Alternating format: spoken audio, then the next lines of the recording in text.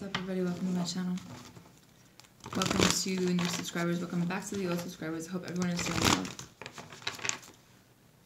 I'm going to be doing some love readings for all the signs I'm on sign Scorpio for February 2020.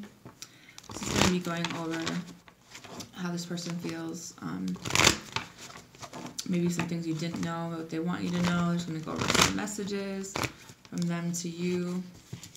I'm going to go over like what career field this person could be in and what they admire about you and some messages as well from this person to you.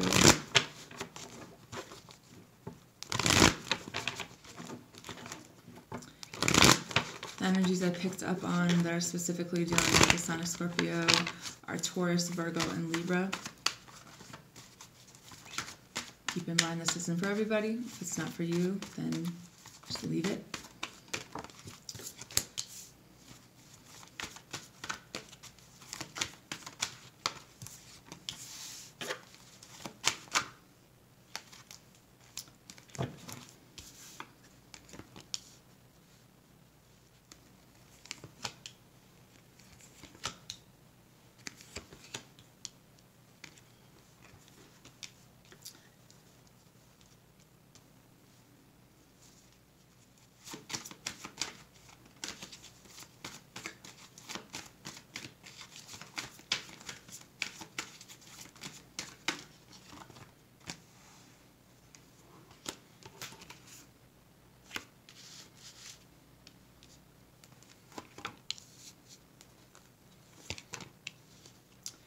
Some of you guys are trying to make a decision, or this person. I feel like this person cares a lot about you, um, not only just in the love aspect, but in the passion as well. It's definitely not lacking. Messages for Scorpio. There's a sense of regret here over a decision, and there's a need to trust your intuition about what it is that makes you happy. For some of you guys, um, you're dealing with someone who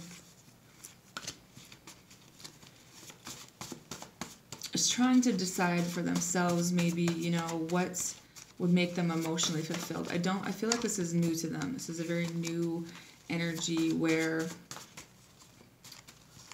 someone maybe had the idea of a relationship with you but then there's energy of it being cut off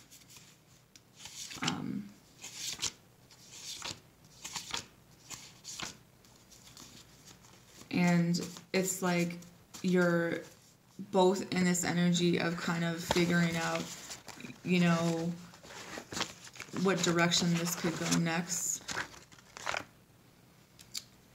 But someone's like really overthinking it. Someone is um not really sure maybe what to say. I feel like there was an argument. There was an ending here uh, possibility of an ending uh, I don't really feel like it's completely over. I feel like it's just being thought about like, do I put an end to this? Do I stop waiting? Do I, um, you know, do I let go of the idea of having a relationship with this person because of whatever reason?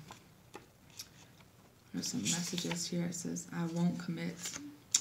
So some of you guys are dealing with someone who um, I needed to hate you to find me and I can't find any peace. This one says, I had a dream about you. I never meant to hurt you. Sometimes I say things I don't mean. It's possible that I miss you. I have way too much to drink. Sometimes I feel like I'm better off alone, and I loved you before I loved myself. Very flip flop energy here. Um, maybe you wanted a commitment from someone and they couldn't give it to you. Um, but it's like still being thought about, but maybe subconsciously, it's like this person thinks about you, but then they revert back to, but I'm just gonna hurt them. Like I don't really want to be in a relationship. Um, I do feel like they genuinely feel bad for whatever was said, or maybe you said to them. But I just feel like someone needed to learn how to love themselves before they could learn another person. Um, some of you guys dealt with a situation in the past where it was really like lighthearted energy where it wasn't really something that was serious. You know, it was almost like it was a joke to this person. And this person didn't commit to you and because of that it kind of like catapulted you into new energy of now that you're dealing with someone potentially I don't really know what it is that they want from you yet, but it's just like you do genuinely want this commitment. You do genuinely want this relationship with this person, but maybe the way you talk to people sometimes pushes them away. Um, maybe the things that you've been through in the past, it's time to just close out that cycle, let it be an end to whatever overthinking and, you know, um, lust there was in that situation. To, to welcome in someone who genuinely has emotion for you because I feel like you're kind of blocking it out in a way you have like one foot in the door halfway and one foot out like you're really um, hesitant to let anyone help you or let anyone get close to you because you feel like you don't really know what risks to take, but the last risk you took in this situation ended up with a lot of things being destroyed in your life. And now you're trying to manifest more positive things but it's going to require a lot of balance and harmony and it's going to require you moving on from the past. It's going to require um, an understanding that there's going to be some uncertainty. There's going to be not always knowing you know what's going to happen in, in a certain situation ahead of time. It says, I can't open up about some things, I just keep them to myself. This one says, I'm afraid of commitment. Put my trust in them and they broke my heart. It hurt my heart the way our love ended. I blame you, you're the reason I don't trust bitches. And this one says, You make me laugh and smile. So are you guys projecting onto each other old scenarios from your past? There's a lot of mirroring going on here. I feel like you guys feel like the exact same way, not only about yourself, about relationships, but other people. And that's kind of what's blocking this because I don't think either one of you anticipated um, how much alike that you were. How much you genuinely don't trust a lot of people because of what you've been through.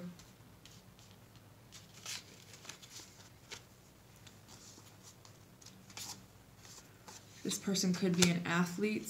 This person, like a professional athlete. This person could be in the education field.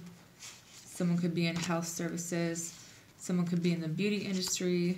Someone could be an entrepreneur, and someone could be in the medical field for someone you're dealing with, or possibly you. This person or this person admires your compassion person feels a sense of comfort around you.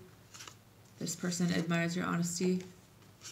This person likes the pleasure maybe that comes with you. This person likes your aggressive nature and your cuddles. So this is obviously some people you've been with in the past or potentially in the future. I just feel like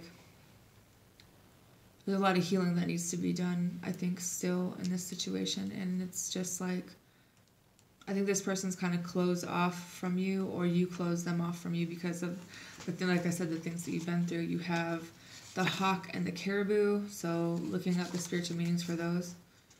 But I just think that because of the things that you've been through and the things that this person has been through, you guys both kind of block this out and but then there's like a part of you that still believes that this could work out. It's really odd. I feel like someone wants to like wants a new beginning with you or wants to try this, but it's like they're afraid. And I think you're also afraid. So like I said, with that mirroring energy.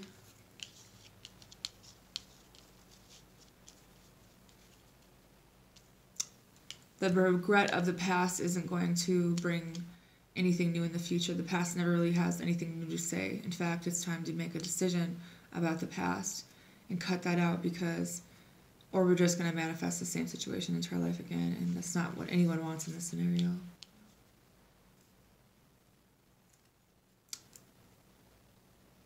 No one wants to be hurt again. No one wants to be in a relationship with someone that doesn't treat you well or leaves or doesn't really commit fully to you, you know, but I think that it's important to manifest like a healthy relationship that there will be a healthy relationship in your future and that not all of the things that happen to you are going to happen again like changing your mind about what kind of relationship you're going to have in the future and manifesting that in.